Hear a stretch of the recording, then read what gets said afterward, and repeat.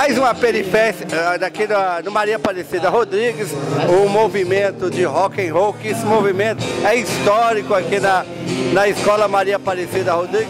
Aqui está acontecendo um evento do rock and roll. Daqui o, a banda tocando, iniciou aqui agora esse evento. Então, tem várias pessoas aqui, históricas aqui da cidade, aqui na, na escola, várias pessoas. Do meu lado aqui está a Elaine.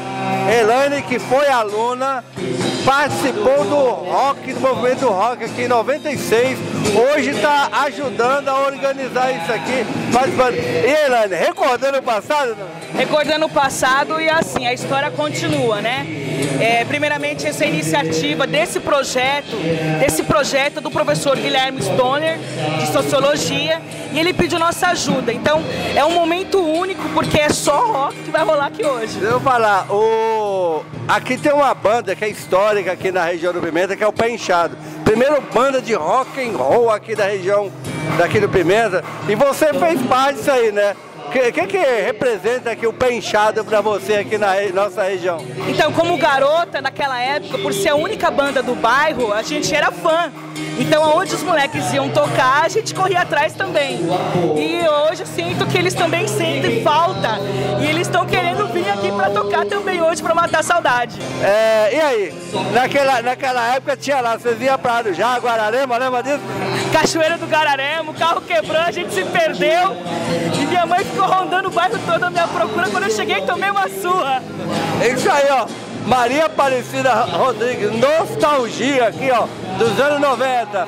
Estou aqui com o Guilherme, o Guilherme que é o professor organizador desse evento de rock que, que acontece aqui no Maria Aparecida. Maria Aparecida sempre é pioneira aqui na, nas atividades culturais aqui. O rock and roll é um evento histórico aqui da região. Guilherme, qual o intuito aqui de você fazer esse evento do rock aqui na nossa região? Olha, é, primeiramente eu quero agradecer, né? É, e lembrar que essa não é a primeira vez que nós fazemos um show de rock. O ano passado eu era professor de sociologia numa escola da Zona Norte. E daí eu e o professor de geografia é, quisemos fazer um show de rock na escola, para atender a demanda dos alunos, né? E aí ficou conhecido como projeto Rock na Escola. Aí desse ano depois eu mudei, eu vim para Maria Aparecida e falei, vamos fazer então uma segunda edição do projeto Rock na Escola, né? E, e vamos e, e, vamos atender a demanda dos alunos. Quando eu cheguei aqui, é, eu faço parte da Universidade Federal de São Paulo, né, e eu, nós temos um projeto aqui que se chama PIBID, né, o Programa de Iniciação à Docência.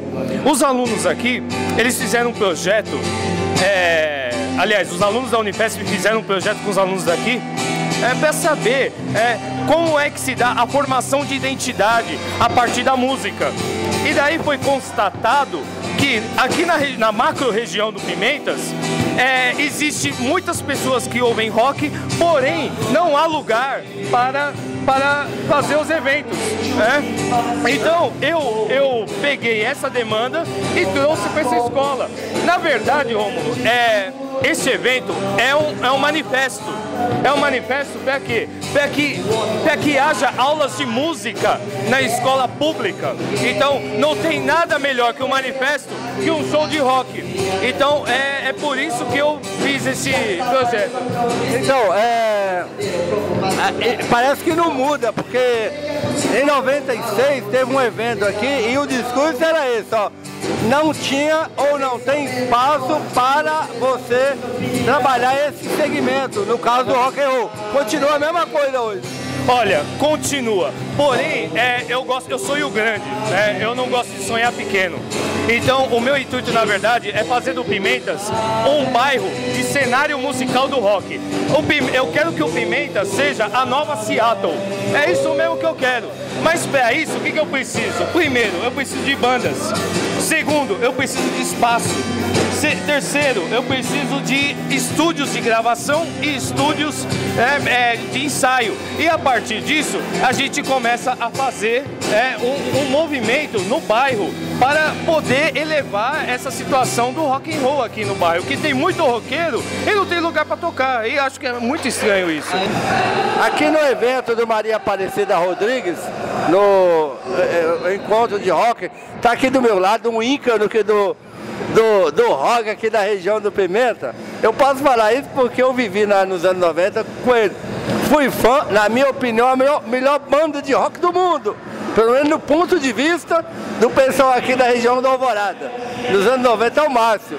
Márcio que está aqui prestigiando o evento do, do rock aqui no Maria Aparecida Rodrigues. Ei, Márcio, saudade da época dos anos 90, não? Pô, uma saudade. A verdade era ter falado que foi em 96, a gente tocou a primeira vez aqui em 94. E foi engraçado que não tinha público de rock. A gente tocou pra. A gente tocou pra quem tava na escola. Era um evento, era uma feira cultural e a gente resolveu tocar e só tinha gente. Foi um espanto para todo mundo. Mas nos anos seguintes a gente foi lutando para fazer e sempre fazendo. Teve uma das vezes que mandaram desligar a luz e o Romulo foi lá e brigou para ligar de novo a luz pra gente, né? Mas bem legal, tô orgulhoso de estar aqui, até emocionado, porque é, faz quase 20 anos. Eu fico vendo essa molecada, eu me vejo nela, assim, sabe? Apesar de eu é, buscar outros caminhos, hoje, ainda vive, gosto muito de rock, ouço as mesmas coisas, ouço mais coisas, me envolvi com a cultura e uma coisa importante, acho que a cultura, ela realmente salva o ser humano. Ela faz com que você saia da, da, sua, da degradação que você pode vir a cair e tal. E ela faz você evoluir. Ô Márcio, o, o público aqui, os fãs do, do Pé Inchado, quer saber o pessoal do Pé Inchado vai voltar aí a tocar, trazer uma nostalgia, você vê, vocês que é o dinossauro do rock aqui do, do Pimenta, que pode crer, pra nós aqui na época, que acompanharam o Pé Inchado, falava, é a melhor banda de rock do mundo. E aí, se tem vontade, vai voltar não? A gente tem vontade, a gente, a gente tá conversando assim, é é, com as divergências de alguma coisa de como fazer o trabalho, mas eu tenho vontade de fazer, até porque você sabe que a gente sempre falou as coisas muito sérias, é, letras bem fortes, contestadoras, é, textos, a gente sempre trabalhou isso, nunca deixou de acreditar nisso. E eu queria focar nisso. Acho que a gente tem a obrigação de, de, de informar, continuar informando todo mundo. E você vê que a preocupação minha aqui e do público aqui do Alvorada é a mesma do mundo quando os Beatles se separou. Vai voltar ou não?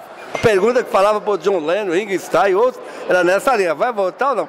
Então eu, eu sou testemunha aqui do, do, do, do, pessoal do Pé Inchado, que teve, eh, foi uns precursores aqui do movimento rock and roll aqui da região do Pimenta, fazia os eventos e arrastava um público enorme, a gente ia nos eventos deles, mas está aqui. Eu espero que. E o projeto atual, Márcio, está fazendo o quê? Eu estou terminando de produzir um CD infantil de um, de um livro Cantos e Contos, que é um livro de inclusão social. É um projeto que tem 20 músicas, 20 canções autorais, vários autores, né, vários compositores, e voltado para os ritmos brasileiros. Estou é, querendo montar um instrumental meu, uma nova parada mais com contrabaixo. E estou pensando em montar um documentário sobre essa onda do penchado e acabar num disco, quem sabe. Estou querendo, tô querendo essa jogada. Eu sou testemunha aqui da questão do Márcio. O Márcio é um excelente letrista. Usei as letras do, do Márcio para dar aula aqui no Maria Aparecida. muito boa a letra dele. E aquela letra lá, eu lembro uma letra que eu até me esqueci o nome, mas falava sobre o, o a obrigatoriedade do serviço militar. É, essa... lembra dessa letra? Não? Essa, essa música, junto com outra que chama Exploração, essa chama Serviço Militar. Ela, é, ela a gente foi convidado para participar de uma coletânea, acho que a gente foi a única banda de Guarulhos que entrou nessa coletânea, chama SP Punk. Essa coletânea era das bandas punks dos anos 90, as, as, as que faziam underground de São Paulo. E a gente era a única de Guarulhos. Essas duas letras, essas duas músicas entraram, Serviço Militar é uma, a gente foi muito elogiado porque a gente nunca foi aquele negócio do, do punk de falar oh, ferro o sistema, desculpa o palavrão, mas foda-se o sistema. A gente procurava é, dar informação na letra, você tá entendendo? Então a gente, é, ela, é, igual você falou, a gente sempre pensava nisso, não só ficar gritando, mas tinha consciência no negócio. Então eu usei essa música aí que questionava o serviço militar pós Guerra Fria, porque não tinha sentido. Eu, pelo menos eu vi assim não tem sentido o serviço militar obrigatório num, num país que está sem eminência de guerra. Então era, era a crítica é essa, por isso que eu questionava, até hoje eu questiono, o serviço obrigatório, o serviço militar obrigatório. E aí, a, a, as outras letras, lembra das outras? Não? Eu lembro de várias. Tem uma que chamava, até o nome dela chama Pestes, Desgraças e Destruição. Ela é um texto enorme e ela fala é, de como a, a o mundo vai acabando, porque é o seguinte, quando eu estava crescendo, os campos de futebol, as várzeas foram sumindo, construindo prédio, tal, tal. E nessa letra, que é de 96, eu falo que eu falo que daqui a, daqui a pouco não vai ter mais campo de futebol. Não vai ter, a gente vai ter que pagar para jogar bola. E hoje é assim. A né? especulação imobiliária. Exatamente. Isso eu fiz em 96, 95, 96. Eu tinha 18, 17 anos. E, e já previu o que está acontecendo aqui na região. Aqui na região Aqui é campos de área de lazer para criançada, praticamente não existe. Tudo que você previa aconteceu. É, eu joguei bola na rua, eu, hoje não tem mais isso, tem que entrar escolinha de futebol, isso está tá errado, velho. A gente, só que a gente é culpado disso, que, pô, você compra um terreno aí, tu vai construir sua casa, você quer pagar tudo de cimento, em vez de deixar um canto para plantar tal. Aí você reclama de enchente, você reclama de, de, um monte de coisa que você é culpado. Então a gente fala nisso, ela é meio apocalíptica a música até. Mas... Isso. É o Márcio Avelar aqui na, no Maria Aparecida Rodrigues, questionando, virou aqui uma, uma entrevista nostálgica, já que eu sou um, fã incondicional do, do, do Pé Inchado aqui, morador aqui da região do Alvorada, sou fã deles desde a, do, dos anos 90, que sempre eu ia nos eventos aqui do, do Pé Inchado. Para todo o Brasil, Rômulo TV Cursinho.